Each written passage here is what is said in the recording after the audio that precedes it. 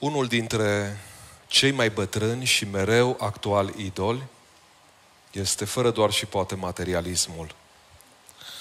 Nu cred că există persoană, indiferent de categoria socială, care să nu simtă atracția, ispita legată de materialism.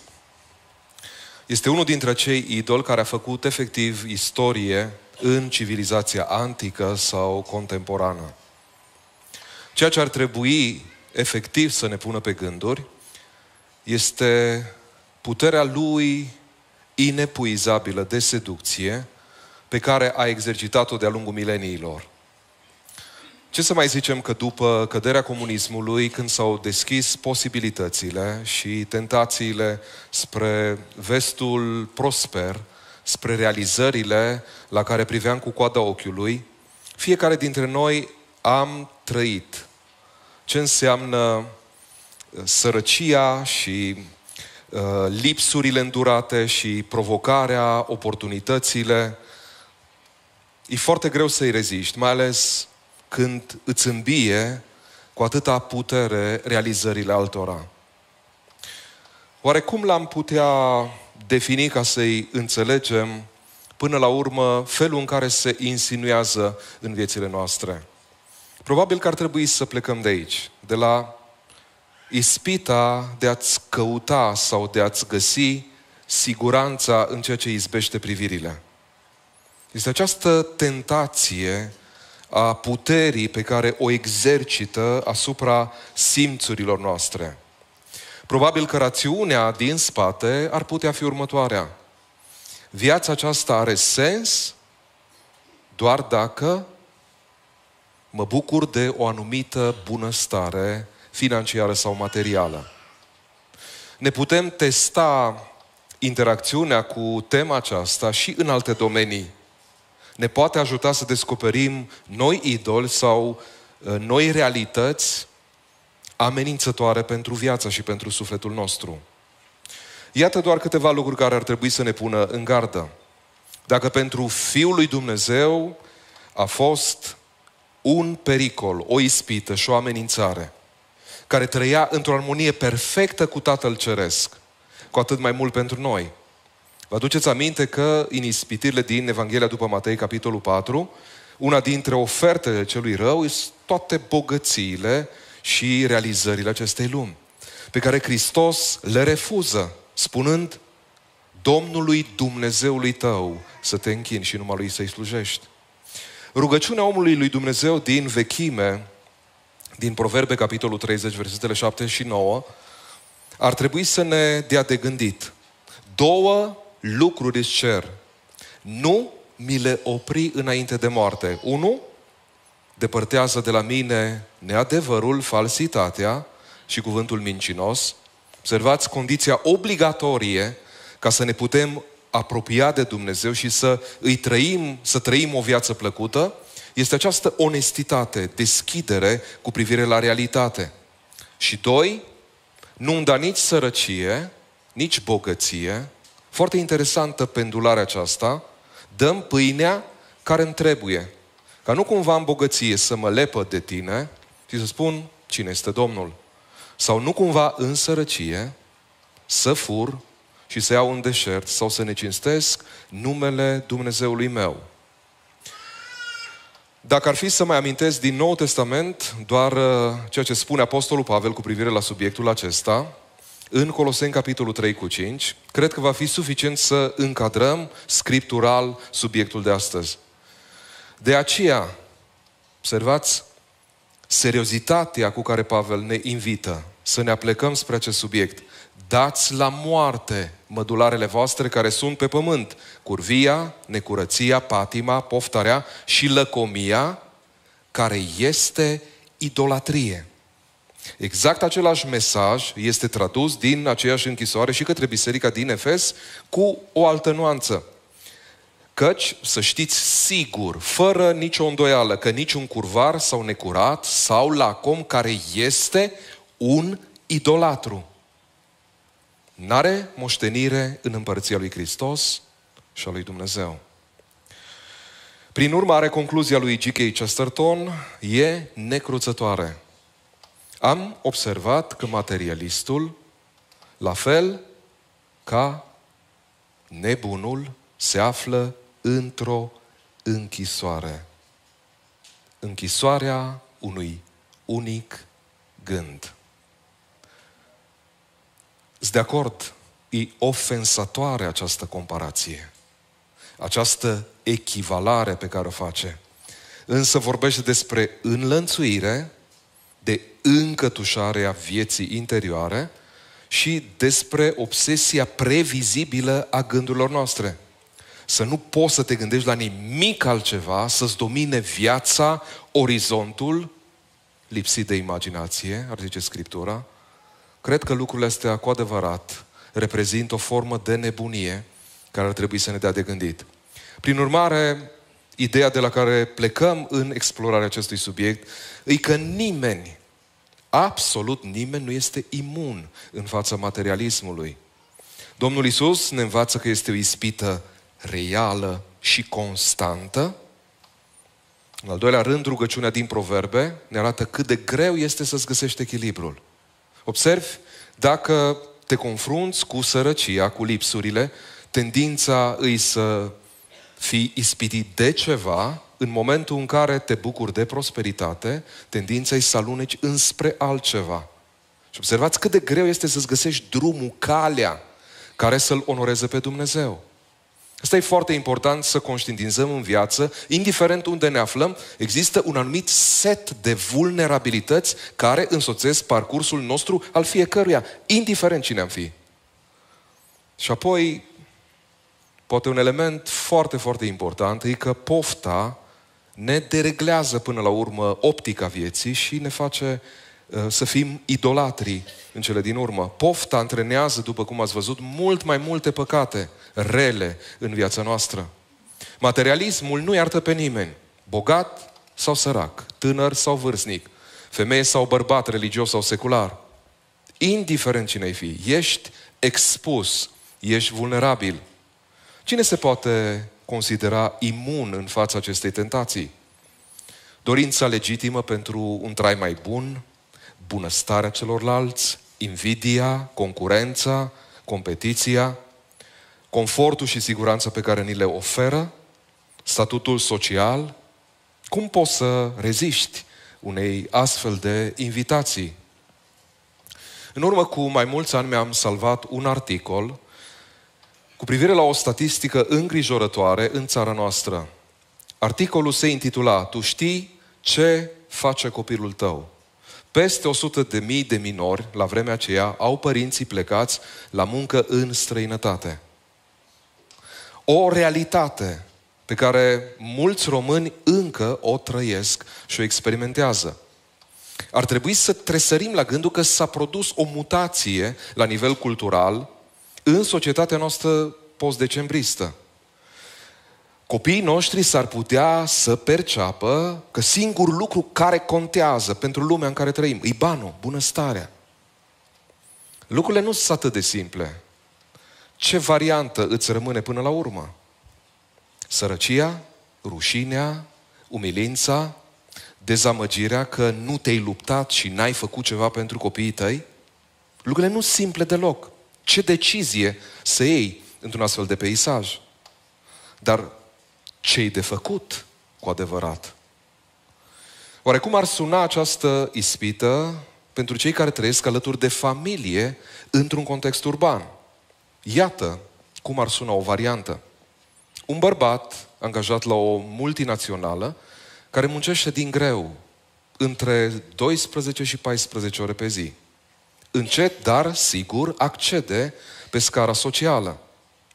Soția îl încurajează să o lase mai moale și să petreacă timp și cu copiii și familia.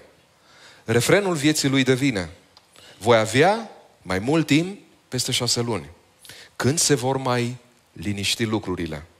La urma urmei, pentru ei fac toate acestea. Într-o noapte, o arteră se blochează. Observați șocul pe care ți-l aduce în momentul în care te trezești în fața unei realități care nu-i străină de viața noastră, Nu e ceva ipotetic care îs foarte puține șanse ți, să ți se întâmple în viață, ci este una dintre ispitele civilizației actuale în care trăim. Mantra cu care ne justificăm comportamentul, ceea ce fac, nu fac pentru ei. Observați cât de greu este să decriptezi, să înțelegi ispita în adâncul inimii ca să poți lua măsurile de rigoare. Materialismul rămâne veșnic seducător pentru că ne oferă iluzia securității și controlului. Să te simți cumva protejat în fața zilei de mâine. E foarte greu să reziști acestui lucru, mai ales că ele vin cu această dorință de a ajuta, de a asigura, de a te lupta pentru copiii tăi, pentru cei care vin după tine. Lucruri care sunt absolut normale. Și ceea ce am învățat și în mesajele precedente despre idolatrie e această complicitate. Trebuie să detectezi cu mare atenție, îți trebuie răbdare ca să vezi reverberațiile personale pe care le trăiești. Discuția despre acești idoli moderni e complicată de anumite bruiaje interne. Frica pierderii controlului în viața copiilor tăi te face să apelezi la noi măsuri ca să-ți asigure controlul, protecția asupra lor. Poate că neîmpăcarea cu sine te poate arunca într-o căutare obsesivă ca să-ți primești cumva validarea din exterior de la ceilalți. Cine are, înseamnă că știe cum să se descurce în viață. Materialismul se hrănește din ambițiile și frustrările noastre. Aici e complicitatea internă pe care fiecare dintre noi o trăim. Sunt anumite neîmpliniri, anumite visuri sfărâmate și îs lucruri care ne vor da bătaie de cap. Nu pot să nu mă întreb, privind în urmă la victimele pe care le-a făcut, în ce constă puterea lui de seducție? Iată puterea de seducție a lucrurilor materiale. Sunt câteva lucruri simple care ne vor ghida în a putea identifica pericolul, primejdia pentru sufletele noastre. Primul rând, acceptăm mult prea ușor sugestia că încă puțin ne va fi de ajuns. Aici e păcăleala. Încă puțin și vom fi fericiți. Vom ajunge acolo unde ne-am dorit. Unul din textele clasice în Evanghelie este cel cu tânărul bogat. Îngăduiți-mi să vă citesc câteva cuvinte, Marcu 10 de la versetul 17. Tocmai când era gata să pornească la drum, a alergat la el un om care a îngenunchiat înaintea lui și l-a întrebat. Bunule învățător, ce să fac ca să moștenesc viața veșnică? Pentru ce mă numești bun? I-a zis Iisus. Nimeni nu este bun decât unul singur, Dumnezeu. Cunoști poruncile. Să nu ucizi, să nu comiți adulter, să nu furi, să nu depui mărturie falsă, să nu înșeli, să cinstești pe tatăl tău și pe mama ta. El i-a răspuns. Toate aceste lucruri le-am păzit cu grijă din tinerețea mea. Iisus a uitat țintă la el. L-a iubit și a zis, îți lipsește un lucru. Sunt convins, încearcă să te pui în pielea lui. Mi-ar fi captat atenția lucrul acesta să se uite în ochii mei și să-mi spună, să spună unui bogat că îi lipsește ceva. Ce urmează, nu știu câți dintre noi am îndura cuvintele următoare. Du-te, devinde tot ce ai de la săraci și vei avea o comoară în cer. Apoi, vino, ia-ți crucea și urmează-mă. Plin de bucurie, mâhnit, îndurerat, zdrobit de aceste cuvinte, omul a plecat întristat de tot, căci avea multe avuții. Tensiunea insuportabilă este întreținută de următoarele detalii. Cuvântul drum, cale, suprapune geografic și spiritual două realități. Hristos era într-o călătorie geografică, dar drumul lui mergea la cruce. Și le reamintește ucenicilor, celor care vin după el, de la capitolul 8, în momentul în care se adresează ucenicilor și uh, oamenilor, dacă voiește cineva să vină după mine. Lui Hristos îi stă în față o cruce. Și orice persoană care se pretinde în lumea asta că îl urmează, că îi dă crezare, ar trebui să-i dea ascultare. Hristos nu face rabat, nu are un dublu mesaj, unul pentru ucenici și un altul pentru cei care îl urmează. Același tratament salvator îl propune acestui om care era în căutarea mântuirii, a soluției salvatoare cu privire la această lume.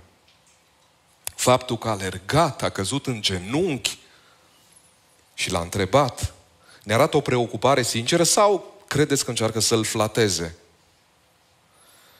Practicarea cu devotament a poruncilor încă din tinerețe ne arată seriozitatea din punct de vedere moral cu privire la lucrurile despre care vorbim. Faptul că Isus se uită la el cu afecțiune și cu iubire îmi arată grija, interesul real pe care Hristos îl demonstrează încă o dată, indiferent de persoana care vine, care îl caută, care îl abordează. Ne alertează acea privire țintă și diagnosticul deranjant pe care Mântuitorul îl pune în dreptul acestui om. Îți mai lipsește ceva. Și exact lucrul ăsta putea să-l salveze. De ce era acolo? Dacă nu ducea lipsă de nimic. Dacă nu îi lipsea nimic în lumea asta, ce căuta acolo la Hristos? Înseamnă că undeva în adâncul sufletului el bănuiește, vag. Ei, lucrurile astea contează în viață. Întotdeauna lasă-le să te însoțească, să te conducă în direcția care se poate dovedi salvatoare. Am o curiozitate, nu știu exact ce s-a întâmplat cu acest bărbat. Dar îmi doresc tare mult ca după supărarea asta să revină, să trăiască acel zbucium, că nici cum nu poate să-și umple golul acela al inimii. Întrebarea ei, acceptăm provocarea Mântuitorului? Eu nu cred că textul acesta învață, unii au încercat să promoveze la nivel universal o sărăcie universală pentru toți oamenii. Dar sunt cazuri în care un tratament de felul acesta salvează vieți. Și în cazul de față, eu cred că asta l-ar fi salvat, l-ar fi ajutat, l-ar fi scăpat. Cineva mărturisea la un moment dat cât de alunecoasă îi calea asta a prosperității, să ai sentimentul ăsta că nu există lucru pe care să nu ți-l poți permite în lumea asta. Cât de periculoasă este această mentalitate în lumina fragilității pe care o trăim fiecare dintre noi. Și într-o clipă, un atac de cord, o veste, ceva, te poate da peste cap. Problema e că ajungem să ne mințim pe noi înșine că încă un pic și va fi de ajuns. Eclesiastul o recunoaște. El însuși, confruntându-se cu probleme de felul acesta. Uitați ce observă în capitolul 4 cu 8. Un om este singur, singur el. N-are nici fiu, nici frate și totuși munca lui n-are sfârșit. Ochii nu îi se satură niciodată de bogății și nu se gândește pentru cine muncesc eu și îmi lipsesc sufletul de plăcere. Și aceasta e o deșertăciune și un lucru rău. Observați cât de realist, cât de decupat din realitate. Îi până la urmă tot ceea ce zice Scriptura. Un al doilea lucru care să ne ajute în a putea descoperi puterea de seducție a materialelor. Acceptarea ne diminuează, ne subminează, ne dislocă până la urmă încrederea în purtarea de grijă a lui Dumnezeu. Aici e problema. Cu cât te bucuri mai mult de această siguranță, cu atât, cum zice cel care scrie în proverbe, în rugăciune, cine-i, cine-i Domnul? Mâinile mele, puterea mea, am reușit în viață, am muncit, am trudit. Și paradoxal, sunt lucruri parțial adevărate, valabile, e normal, cu toții ne comportăm în felul ăsta. Avertismentul lui Dumnezeu din Deuteronom capitolul 8 răsună pentru că poporul lui Dumnezeu chiar traversează toate etapele astea. și perioada din pustie și Dumnezeu îi avertizează cu privire la prosperitatea din țara Canaan. Ai grijă când vei ajunge acolo și vei fi binecuvântat să nu uiți, să nu zici și după aia să dai deoparte cu Dumnezeu. E șocant în acel diagnostic care s-a înfăptuit cuvânt cu cuvânt în viața poporului Dumnezeu următoarea realitate. Bună, bunăstarea aduce uitare. Uitarea, aroganță. Iar aroganța, disoluția încrederii în Dumnezeu. În momentul în care ai impresia că prin puterea ta ai realizat tot ce ai realizat, ești într-o mare primejdie din punct de vedere spiritual. Un articol scris uh, în Statele Unite de către o doamnă cu privire la societatea prosperă a vestului e brutal de onest. Merită, îngăduiți-mi să vă citesc câteva cuvinte. Dintre toate subiectele de care am devenit obsedați, succesul e cel cu privire la care ne mințim cel mai mult. Că succesul împreună cu banii ne vor oferi securitate. Că succesul și puterea ne vor face să devenim cineva. Că succesul și faima ne vor face fericiți. A sosit momentul să spună lucrurilor pe nume. De ce în generația noastră cei mai inteligenți, cei mai talentați și cei mai de succes oameni flirtează cu dezastru în cifre record? Păi, oamenii fac tot ceea ce le stă în putință să obțină bani, putere și glorie și apoi autodistrugere. Poate că nu le-au dorit de la bun început sau nu le-au plăcut ceea ce au văzut atunci când le-au obținut la final. Cuvintele astea șocante pentru că îți arată că în viață nu ești convins până nu simți repercursiunile unor alegeri pe care le faci. Că trendul social, vraja asta care se aruncă asupra noastră, e destul de greu de rupt și de răzbătut prin ea ca să ajungi la liman. E foarte greu să rup vraja seductivă a mediului în care te afli, a neîmplinirilor personale și a inerției cotidiene. Ne mișcăm într-o inerție, anumite obiceiuri pe care le avem. Trebuie să alergi, să lupți pentru casă, pentru familie, pentru toate celelalte. Și acest cumul de factori creează o așa presiune asupra noastră. Acest idol al materialismului poate avea multe chipuri. Statut social, prestigiu, putere, securitate, o viață decentă. Toate etichete cât se poate de valide cu privire la subiectul pe care îl discutăm. Iată o întrebare provocatoare pentru mine. Să fie siguranța zilei de mâine sau securitatea financiară ceea ce mă împiedică să mă încred 100% în bunătatea exclusivă a lui Dumnezeu. Tratamentul oferit de Hristos la prima vedere a, pare a fi unul barbar. Îți lipsește un lucru, du-te de vinde tot. Cum să-i spui așa ceva unui om?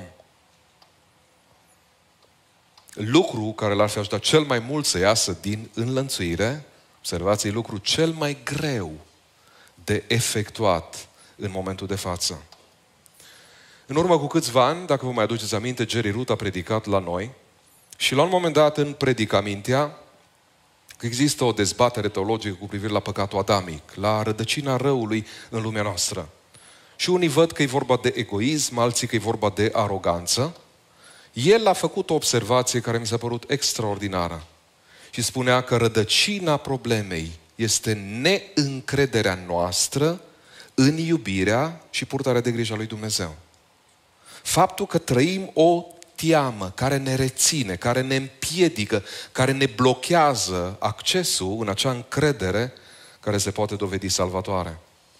Și o a treia observație cu privire la puterea de seducție a celor materiale, îi, până la urmă, rădăcina problemei, îi pofta nebună de iubire care ne dereglează până la urmă percepția vieții. Dacă suntem atenți, Hristos în discuția, în intervenția, uh, în fața acestui om care îl caută, a tânărului bogat, lasă pe din afară două porunci. Prima și ultima din decalog. Prima are de-a face Domnul Dumnezeu este singurul Domn, să n-ai alți Dumnezei. Și ultima, să nu poftești. De ce le lasă pe din afară? Putea începe cu ele ca să identifice mult mai clar problema din viața acestui om. Lăsându-le pe din afară, nu face decât să îi atragă atenția și să ne atragă atenția asupra problemelor care contează în peisaj. De unde se poate repara o astfel de ispită legată de materialism. În scrierile lui Augustin se profilează o temă esențială care instituie mecanismul de funcționare al sufletului. El folosește două cuvinte care definesc atât forța magnetică spre cele materiale, cât și spre cele spirituale. Cele două cuvinte sunt cupiditas și caritas. Prin cupiditas, omul a aruncat zarurile care îl fac pieritor, prin caritas, al cărei obiect e veșnicia, omul se preschimbă pe sine într-o ființă veșnică, nepieritoare. Fiecare este după cum îi este iubirea. Atât de mult îmi plac cuvintele astea lui Augustin. Fiecare este după cum îi este iubirea. Ce iubim până la urmă? Asta e întrebarea care ne ajută să ajungem la rădăcina problemei.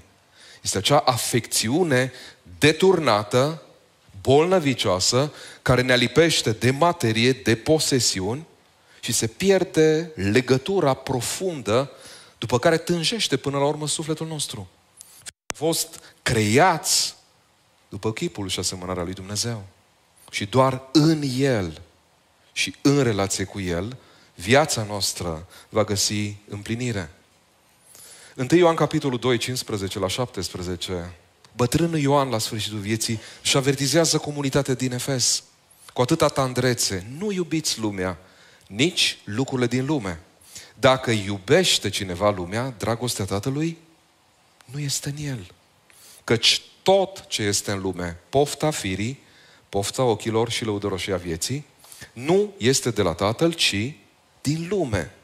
Și lumea și pofta ei trece, dar cine face voia lui Dumnezeu rămâne în viac. Nimeni nu este bun decât unul singur, Dumnezeu. Crezi lucrul acesta? Te poți încrede din toată inima în iubirea și purtarea de grijă a lui Dumnezeu? Cred că Francis din Assisi prezintă cel mai tranșant felul în care stau lucrurile. Nu uitați că el a fost unul dintre cei care a luat măsuri radicale. Era dintr-o familie prosperă și cuvintele astea arată cât de greu este să iei anumite măsuri în viața ta. Nu posedăm nimic. Suntem posedați de posesiunile noastre. Ce inversiune tulburătoare. Poate că siguranța zilei de mâine ne ține captivi în fața realității pe care refuzăm să o vedem. Că trăim cu ziua. Și e foarte greu dacă îți este bine și dacă îți merge bine să te gândești că ești un abur, că ești fragil și că acest cord într-o clipă se poate desface. Siguranța zilei de mâine, după care umblăm ca niște disperați, ne împiedică să vedem adevărul că trăim cu ziua.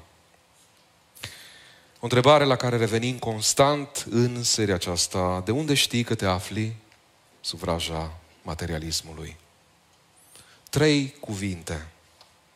Negare, alegere, invidie. Problema e mantra pe care ne-o spunem nouă înșine. Încă puțin și va fi de ajuns. Tot ce fac, fac pentru copii, pentru cei care vin după mine. Însă poate testul cel mai critic este cel legat de alegere. În momentul în care te afli într-o situație de criză, în funcție de alegerea pe care o faci, se vede cel mai bine dacă te afli cu adevărat în sclavia acestui idol. Unul dintre cele mai șocante cazuri pe care le-am auzit a fost relatat de către un pastor. Privire la doi tineri care se căsătoriseră în biserica lui în urmă cu câțiva ani și care întruneau toate idealurile demne de a fi atinse. Întruchipau excelența pentru tinerii din biserică. Amândoi studiau medicina și aveau burse de merit considerabile. Conducând mașina de la evenimentul acesta, pastorul spunea că își imagina tot viitorul binecuvântat care îi așteaptă înainte. Dar la numai câteva luni de după căsătorie, frumosul vis s-a spulberat în cel mai brutal mod cu putință. Înainte de ivirea zorilor, într-o dimineață de iarnă, telefonul pastorului a sunat și o voce înnebunită de durere l-a rugat să vină. La capătul celălalt al firului, tânărul care promitea atât de multe, îngăima fără oprire cuvintele. Cred că am omorât-o. Cred că am omorât-o.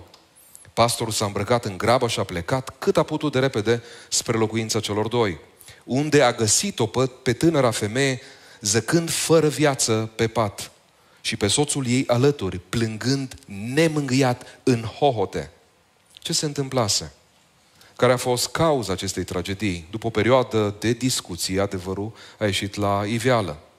Cu câteva săptămâni în urmă, tânăra, în cauză, aflase că este însărcinată. Întrucât mai aveau ani buni de facultate înainte, niciunul dintre cei doi nu își doreau copii atât de devreme. Această neașteptată turnură a evenimentelor le dădea peste cap toate planurile, împingându-i spre căutarea disperată a unei soluții. Au luat în considerare toate variantele. În cele din urmă, buzele ei au rostit cuvintele pe care nu credea că le va rosti vreodată. Toate acestea sunt îngrozitoare, a spus ea. Nu există nicio altă cale decât avortul, dacă vrem să continuăm cariera. Amândoi erau cunoscuți în campus pentru convingerile lor cu privire la viața sacră a copilului nenăscut. Fiind foarte buni, performând uh, ca studenți la școală, au avut ideea să o facă acasă. Din greșeală i-a dat un anestezic mai puternic, mai mult decât trebuia, și în cele din urmă, tragedia nu a ezitat să ajungă în viața acestei familii tinere.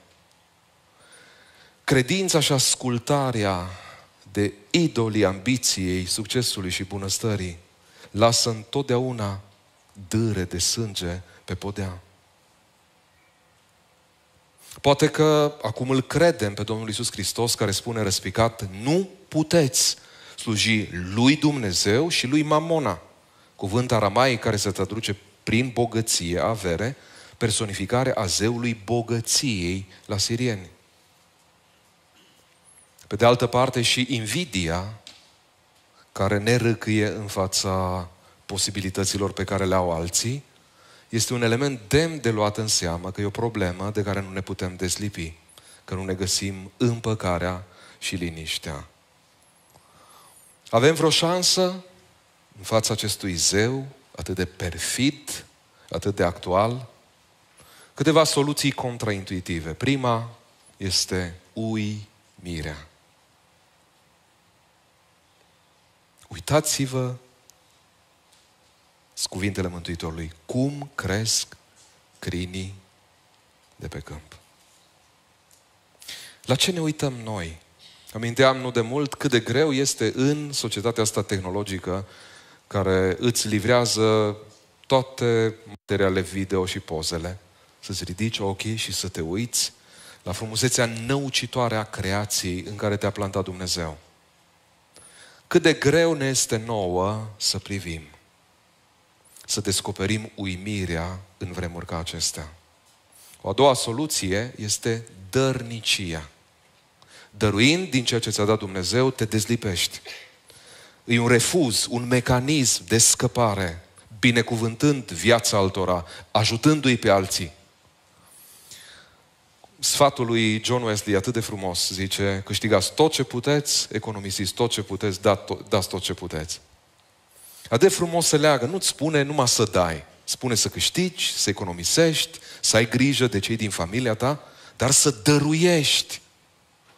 să-ți exprimi generozitatea față de cei care trec prin nevoi, prin dificultăți. Generozitatea este binefăcătoare sufletului nostru. Trei, recunoștința. Logic, dacă le-aș pune, recunoștința vine după uimire, dar am pus dărnicia pentru a sublinia nevoia în fața materialismului de a ne deposeda de anumite lucruri pentru a fi o binecuvântare în viața altora. Când vine vorba de recunoștință, cred că e un mare blestem să ai mult, mai mult decât ți-ai dori, și să nu te poți bucura, să nu poți fi mulțumit de ceea ce ți-a dăruit Dumnezeu. Mare tragedie în condiția umană. Apostolul Pavel era în închisoare la Roma, la anul 62, și scrie atât de frumos spre final, adresându-se celor din comunitatea din Filipii, capitolul 4. Știu să trăiesc merit și știu să trăiesc în belșug. În totul și pretutindeni m-am deprins. Observați, nu se învață de pe o zi pe alta. Este un antrenament pe care îl faci. Așa cum te duci la sală, așa cum practici cu consecvență un anumit sport, trebuie să te dăruiești.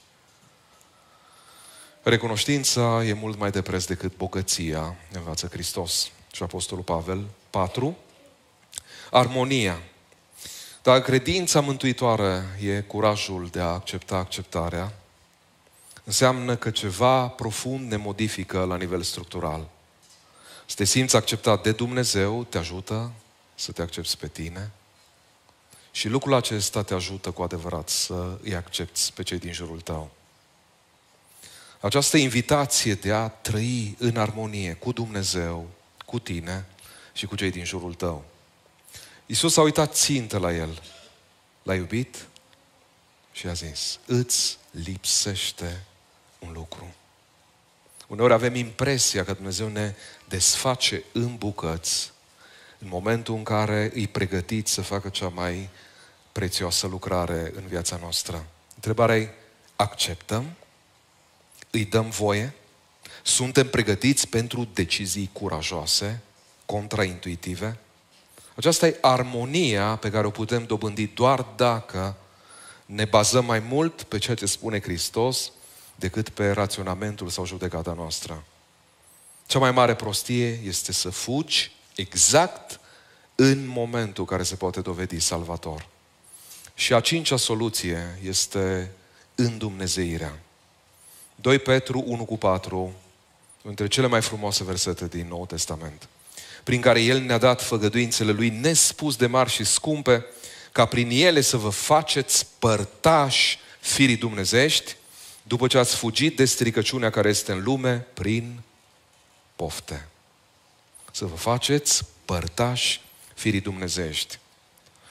Cuvintele unui tată înainte ca fiica să meargă de la țară la școală într-un oraș îmi răsună necontenit în urechi. Fica mea să nu-ți pierzi niciodată omenia. S-ar putea să vă surprindă, dar pentru mine testul inconfundabil al îndumnezeirii este măsura omeniei. Cu cât ești mai plin de Duhul Sfânt, mai plin de Dumnezeu, cu atât ești mai autentic în umanitatea ta, în relația cu cei din casa ta, cu colegii de la locul de muncă, de la școală, în relația cu semenii tăi.